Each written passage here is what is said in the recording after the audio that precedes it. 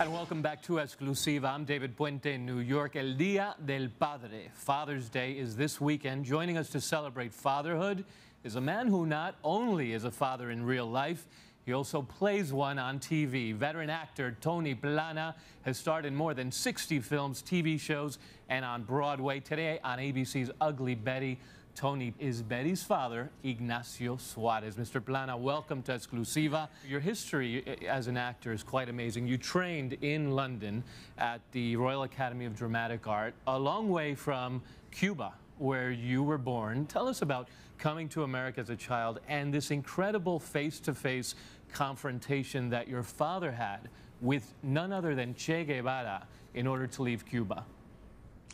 Well, my father at the time, this was 1959, uh, when the revolution took place, worked with the National Bank of Cuba. And as you know, Che Guevara took over the bank. He became known as um, quite a, a, bloody executive, literally. He executed a lot of people. Mm. My father was very concerned about his own safety and also ours. So we um, exiled, um, you know, on a pretext of vacation. We left primarily because there was no religious freedom in Cuba.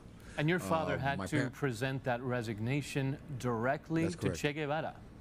What was that That's like right. for him? And, and, well, it was a frightening experience because he had he had you know he knew other colleagues of his that were imprisoned and or had been executed. He was saved by the fact that he had a background of social work with the Catholic Church and the Catholic youth movement who were promoting social, uh, economic, and political uh, justice in, in Cuba. And Che recognized that and let him go. Hmm. Uh, other, other people were not so fortunate.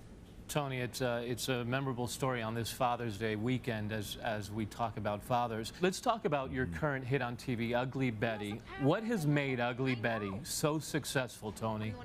The big lesson about Ugly Betty is um, creating a character that has had such universal appeal. This fish out of water is, a, is, a, is a, an aspect of the character that connects with everybody. The underdog, trying to navigate her way in a very hostile and very uh, competitive world that is not very receptive to the kind of person that she is. But most of all, I think it's the inclusive nature of, of Betty has um, allowed this show to connect with everyone. 80% of our viewers are non-ethnic, 11% hmm. are African American, 9% are Latino. So this is this is the first Latino-based show in history that has had this kind of crossover success. Ugly Betty has set the standard for that kind of inclusive fusion type of approach to programming on television. You know how it is. It's it's it's difficult to succeed in this business, and it's and it's uh, particularly difficult if you are a minority and have a minority voice and a minority perspective. Tony Plana, thank you for all your work. And felicidades, uh, Ugly Betty's dad and a, a, real dad in real life. Happy Father's Day. Thank you for joining us on Exclusiva. Thank you. Thanks for your thanks for your interest and for your uh, you know concern. Appreciate it. All right, and that is Exclusiva. Thank you for watching.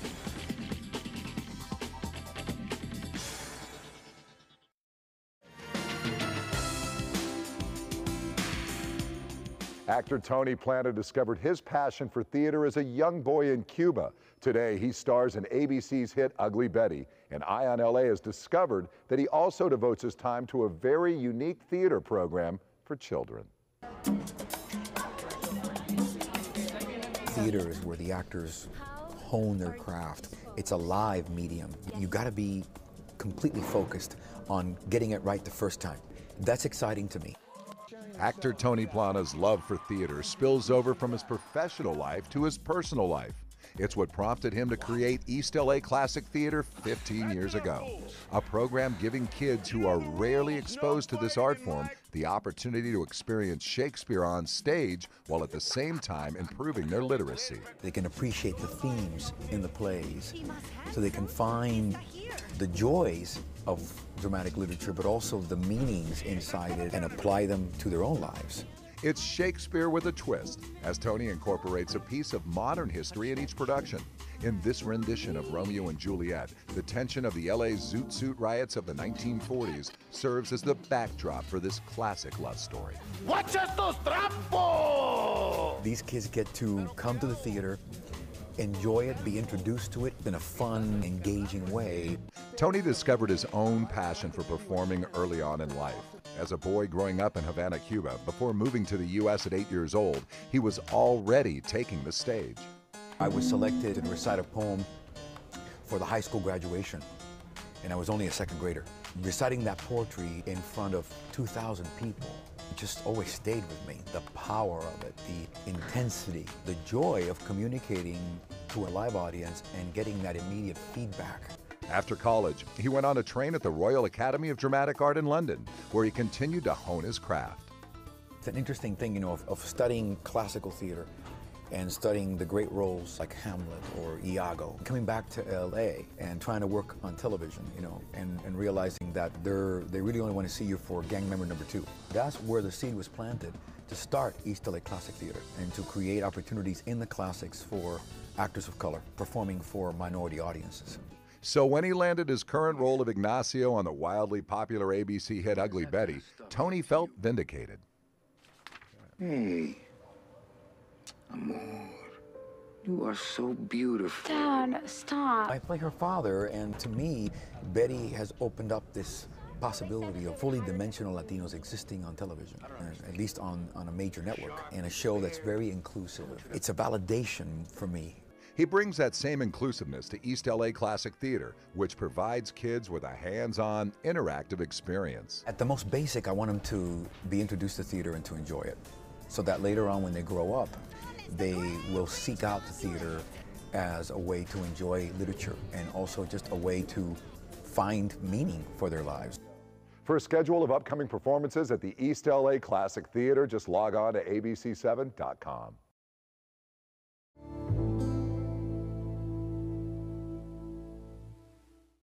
Hey, hey, Two o'clock, moving in, Delacero. Radar's up, scoping the target area. Uh-oh, zero in. Slick it back. There it goes. Slick it. Who will be the lucky deb? Is it the blonde? Is it the brunette? Score! He's got it. Bienvenidos, carnales. Welcome to la isla de los Alcatraces the island of pelicans. Mi nombre es Juan Ruiz Escarzaga, and my first summertime job was walking a super maximum tier 30 years ago.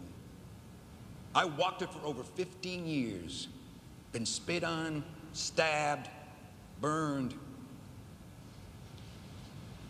and I'm still standing. You think you're hard. I'm harder. I work very hard to try and think of our students here at John Quincy Adams as my clients. Larry, we can't have another lawsuit like we had on that Blackwell case. That one cost the district a quarter of a million dollars. So I need you to be straight with me, Mr. Garfield. Unless we have reasonable cause to show Cesar or Mr. Littleton took your watch, I can't authorize a locker search. Did you cry when he died? Yes, sir. Why? I don't know. he made me see the stars. You see un hombre pobre, sucio, poor, dirty man. Pero soy más. I am much more. I am descendant of Jesus Malverde. You cannot touch me. No me puedes tocar. Forgive me, guapo. I know that I, Jefe, do not have your superior intellect and education. But could it be that once again, you are angry at something else and are looking to take it out on me? Mickey, you look like you want to say something. Yes, Mr. President. I, I think you should wait. For what? To see how negotiations continue with Guerra. Guerra wants Aguilar out of a Colombian prison. Are there any other circumstances under which he's going to give these hostages back? Possibly.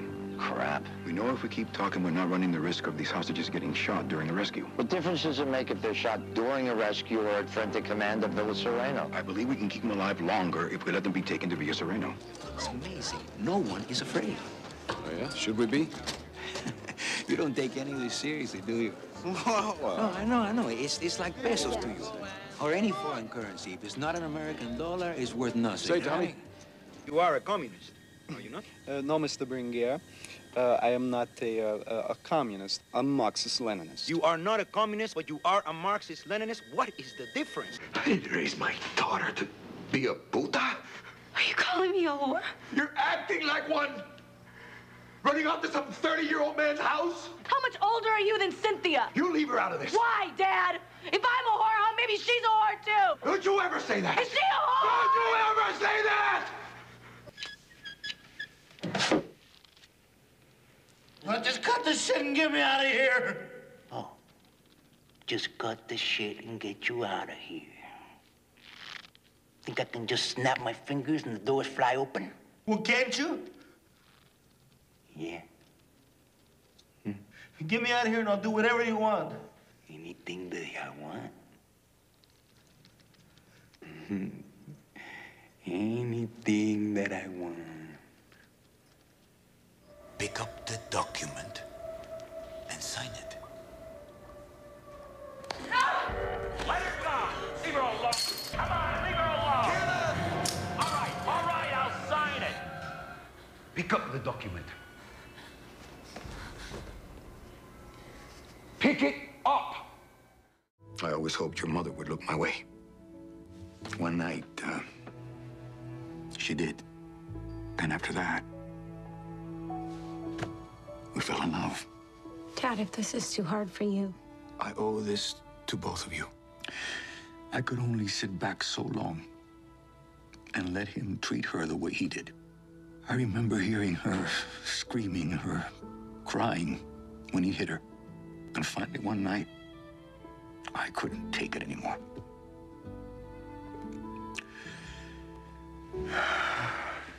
Next thing I know, he'd pulled the knife. So I. I hit him. Just kept hitting him. After that, we ran. And I never looked back.